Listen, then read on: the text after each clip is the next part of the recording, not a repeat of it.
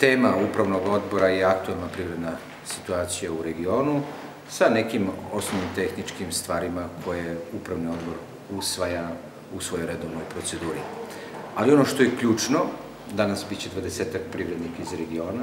najznačajniji privrednici naša tri okruga, koja će ovde u Pirotu uz svoj redovni rad iskoristiti vreme malo da se upoznaju sa privredom Pirotskog okruga, jer evidentno je da mi se vrlo slabo poznajemo regionalno, da nemamo apsolutno protok informacije na pravi način i i na ovaj način regionalna privredna komora želi da poveže privrednike ovog regiona da bi što bolje sarađivali u narednom periodu. Pa, privredna komora je asocijacija privrednika koja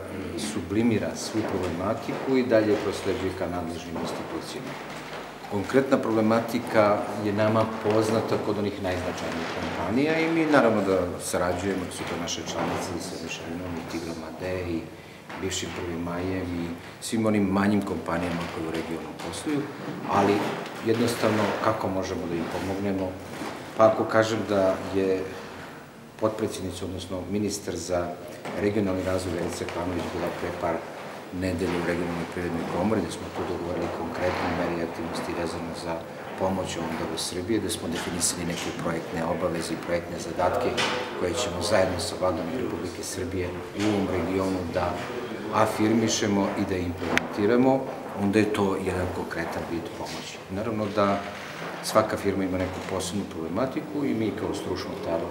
regiona u privrednom smislu možemo da pomognemo svakoj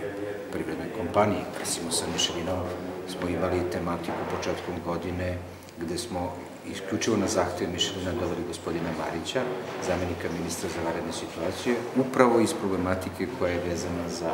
za problematiku Mišelina kroz dalje reinvestiranje u grad Pirot, kao što je poznato, kompanija se odlučila za reinvestiranje u Pirot. Mnogo je takvih pitanja, mnogo je takvih otvorenih problema i mi praktično se trudimo da sve to stavimo u funkciji koliko može.